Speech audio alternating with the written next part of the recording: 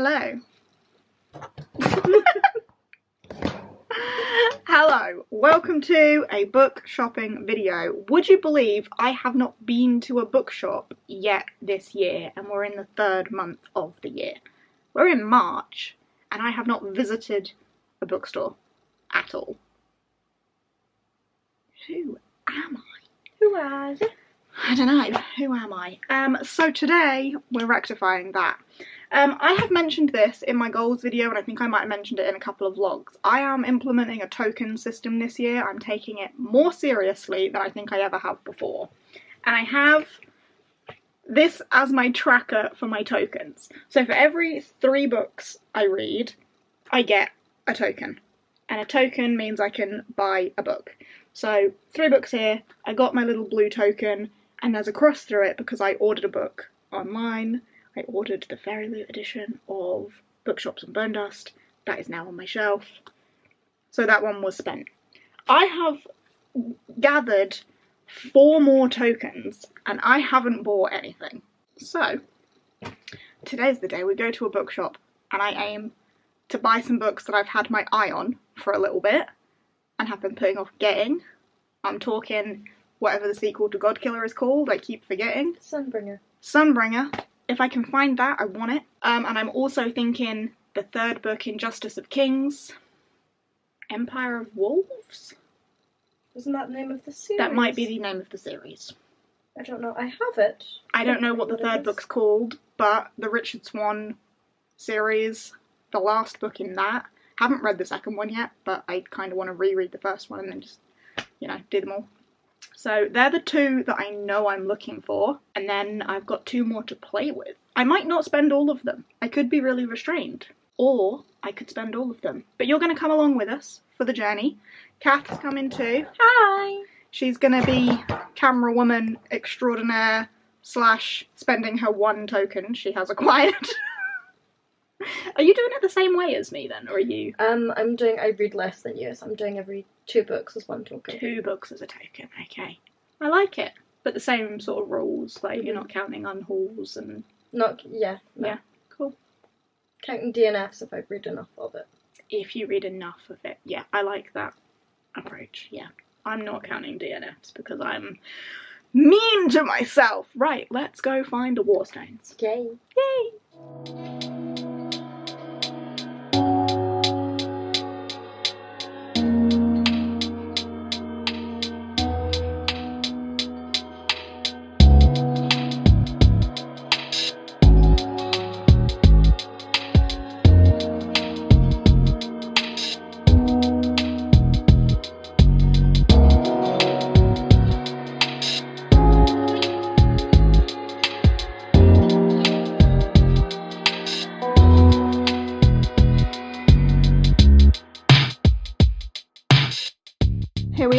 What's new?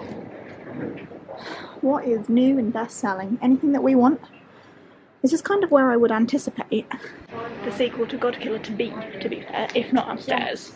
But I would think it would be It Around makes sense for here. them to have a copy here. If there's not one here, there probably will be one upstairs. But we can, we can hope. Okay, so she would be up here, But she's not. but she's not here. I own this. I pre-ordered this. Did you? Oh, glorious exploits. It's um. Is that by again? Oh, it's, it's Greek, so yeah. it's all you need to know. It's written set in like I think it's oh which island? Not Sardinia.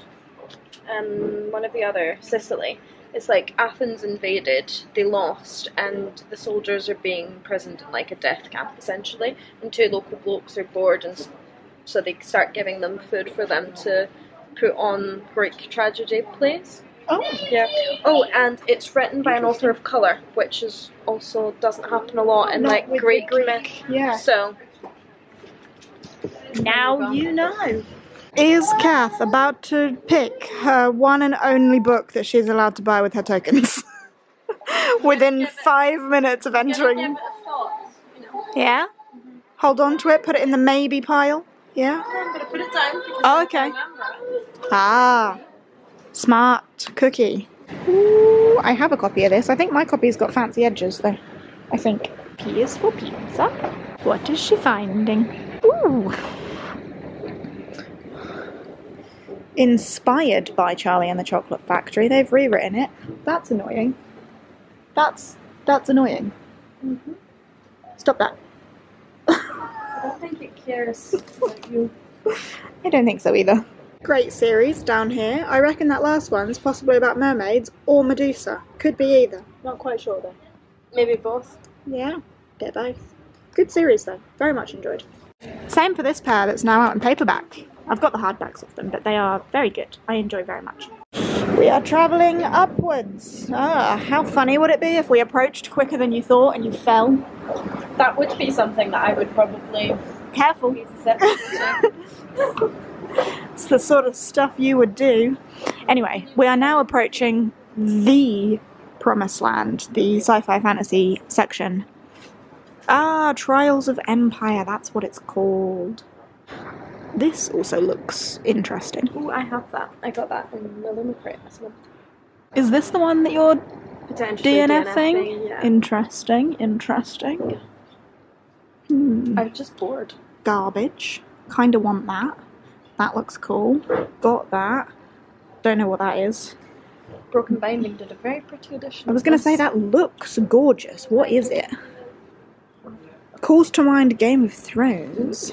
She's sick. She, she chunky. A dramatic reading. Lorelei Aurelius is the smartest inquisitor in the mountain city of Ancris. When a mysterious tip leads her to a clandestine meeting between the church and the hated Red Knives, she unearths a plot that threatens not only our home, but the Empire itself. The trail leads to Rylan Holbrook, a notorious thief posing as a dragon singer. Lorelei soon discovers there's more to Rylan than meets the eye. In fact, he has come to Ancris to solve the mystery she has just discovered. Knowing his incarceration could lead to the Red Knives achieving their goals, Lorelei makes a fateful decision. She frees him. Oh. Branded as traitors, the two flee to the city on Dragonback to the massive forest known as the Holt. Following a trail of clues, they find that the Red Knives are planning to awaken a powerful demigod in the holiest shrine in hmm. Ancris. Even worse, the church is willing to allow it. The unlikely allies are forced to return to Ancris, where they must rally the very people who vowed to capture them before it's too late. This is the first book in a new fantasy series from the author of the acclaimed Song of the Shattered Sand series. The Dragons of Deepwood Fen follows an unlikely pair as they expose the secrets at the heart of Ancris. That sounds really good. It does. I really like the sound of that. And I'm gonna go check if Broken Binding still have a 30 edition. That's a good idea. That's gorgeous, though. Definitely sounds up my street. so- Empire in Turmoil. Dragon. That's all I need. I have found one of the things I was looking for, though, so this will be coming home with me. I really liked. Hmm, Did I really like? Is that the right word? Let's reword that. I liked Godkiller. I didn't really like Godkiller, but I liked it enough for it to be one that I've like remembered and one that I'm curious enough to pick up the sequel. I think it definitely had like debut book vibes, and this could possibly be better for that reason. So, I want it. I've thought about it. I've been thinking about it. I've wanted it since I knew it was becoming a thing. So, although Godkiller did only get three stars from me, still, still want it. And I'm glad that I just found it on that table. Speaking of Godkiller, speaking of Godkiller, here it is. Have you found out what you needed to know? Yes. Ooh. Ooh. 27. Okay. How much is the normal one? Let's find out. 25. Sold. Yeah. That does technically mean that that's going to be one of my tokens, though. Mm-hmm. So that's one token gone. And here's another token gone. So that's two tokens gone. And what else did I say I needed? Empire. Thing. Empire of. Yeah, that one. I've already forgotten what it's called, but I'll go and grab that in a second. That's three tokens gone. I've only got one left. In fact, I can't remember the name of that book. Yeah, I own it. only got one left. I very quickly spent these.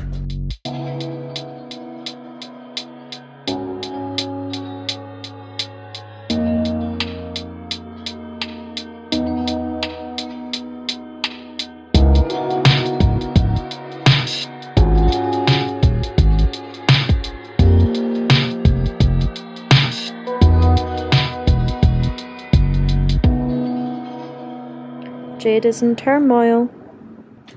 Empire is in turmoil. There's rebellion, there's Empire in turmoil, there's a country on the brink of war. The only thing I'm missing is a prophecy.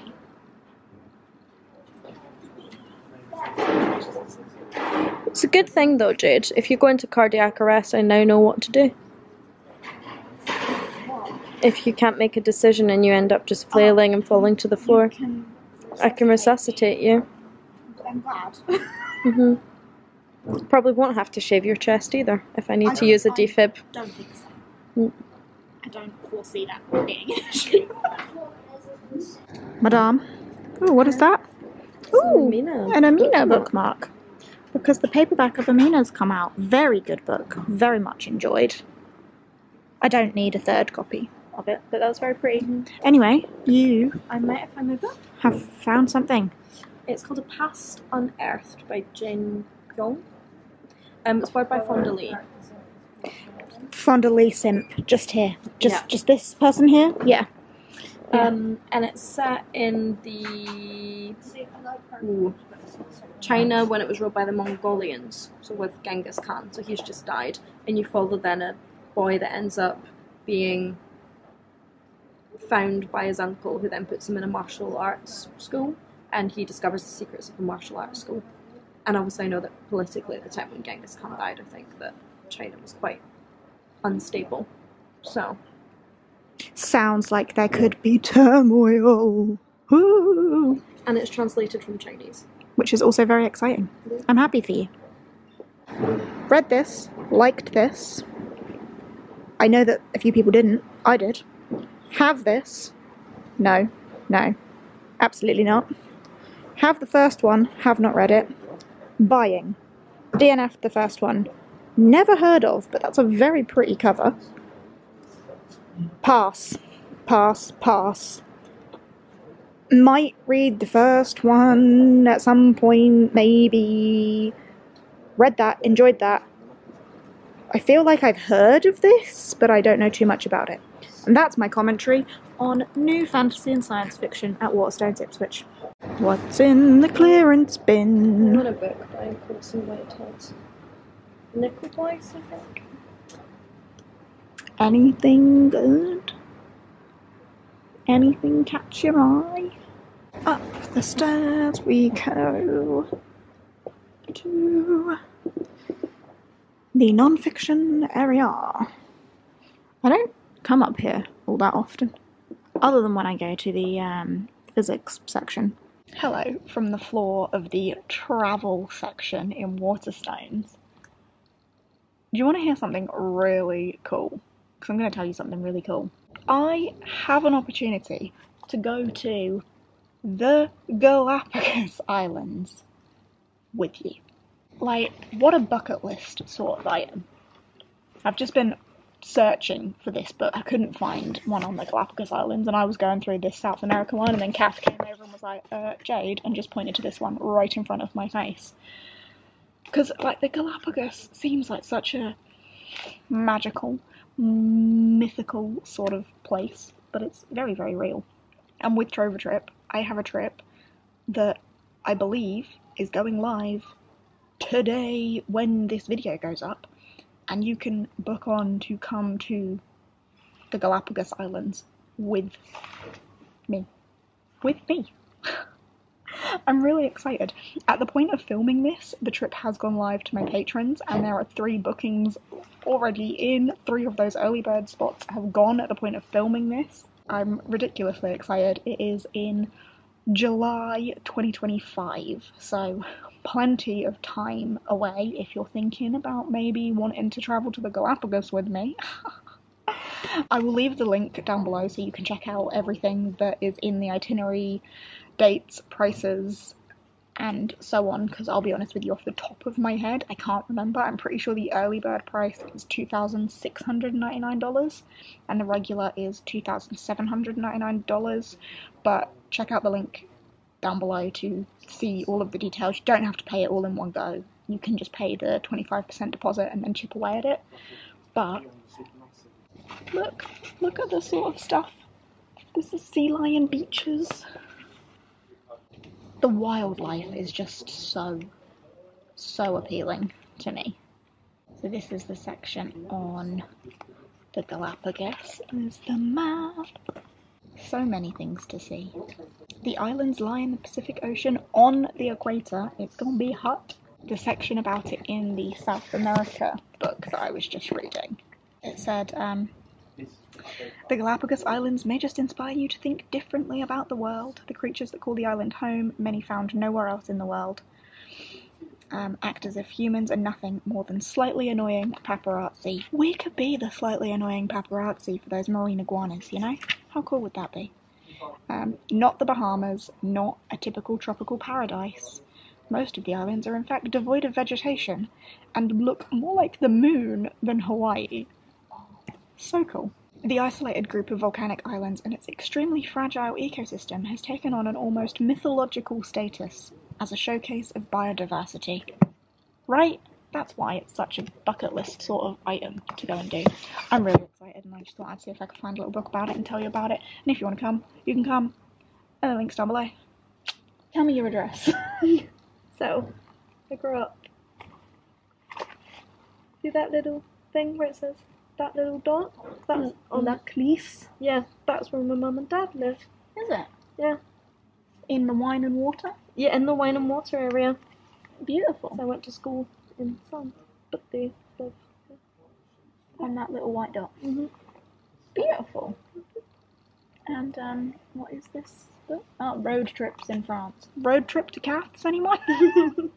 the astrophysics section always gets me, this sounds really cool about the journey into white holes and what's beyond a black hole. That's very pretty. Also, they are always just gorgeous. But um, yeah, the physics stuff always always interests me. I've got my finger stuck in the strap of the camera and I can't get it off. Thanks. Right, so I think I'm only going to be leaving with two books. And to be fair, it's the two I came in for, which is great. The other one that we found just around here, this one, I won, but the Broken Binding have the special edition with the sprayed edges and a really pretty under the dust jacket. And this one, you know, doesn't have any of those things. And I'm a sucker for a special edition, so I feel like I will probably buy that, which will be my third token. So, you know, if I were purchasing it here, I would be leaving with three books. Which is Not bad. decent, Mhm. which means I still have one token, but I'm not going to spend it just for the sake of spending, Spending it. Mhm. Because I'm sure there will be another sequel that will come out at some Yeah. point, and I will need a token. So, two that I wanted, one kind of impulse find, but I'll get the special edition, um, and keeping a token. Yeah. And Amazing. Kath's changed her mind. Yes, I have. Um, I put down the a past Unearthed that I was talking about. I've taken a picture of it though. The copy's damaged as well. There's which, a big rip in the back of it. yeah, Yeah. But I've taken a picture of it and we'll likely pick it up at some time in the future. But we went into the non-fiction section and I found a non-fiction book that I've been wanting to read for a little while, and it's The Hundred Years' War in Palestine by Rashid Khalidi, which is it's a history of kind of like the colonialism and then resistance from Palestinians, and it's written by a Palestinian author. So, very topical at the minute, Absolutely. you know. Ceasefire now. Um, sorry. Seconded. no, it's fine. Making your video political. so I've been wanting this for a bit, so that's why I'm picking up. Well, now I really want to know what they were talking I about. know. Just had a couple of guys walk past, and his mate went, well, "This is just far too TMI. Tell me more." What is it? You've said it now. Now we're curious. Anyway, we have made our purchases. They are in We're heading back to the car to go home, and then they need to find spaces on the bookshelf. Hello, hello. It is a few hours later. I am home. Kath has also gone home, so I'm on my lonesome now. But back home with my couple of books. I think I was very restrained. I'm very happy with my purchases. Literally exactly what I went out for. So, perfect there. And I just thought I would prove to you that I'm keeping up with my token system. And I'm going to mark off one, two.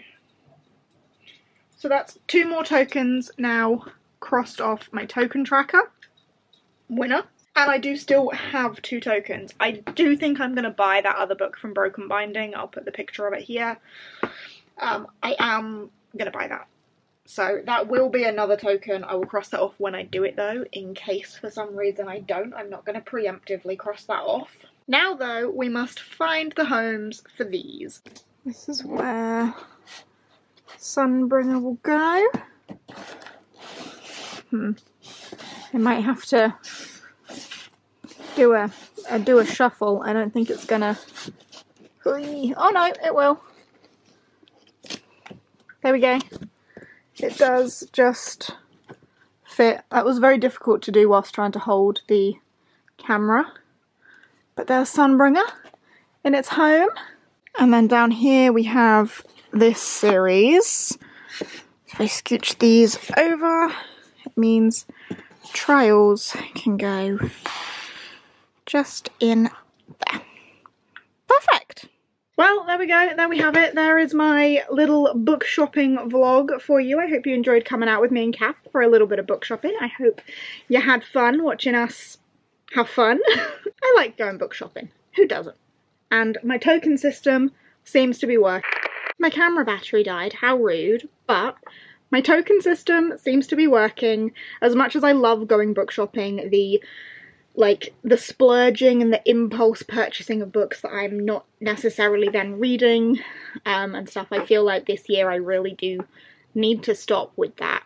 And the fact that we're in March and that's the first book shopping I've done and I only got two books and I've only bought one other one online, like I'm doing fairly well. I hope you had fun, hope you enjoyed and uh, yeah, that's the end of that. So I shall see you in whatever comes next.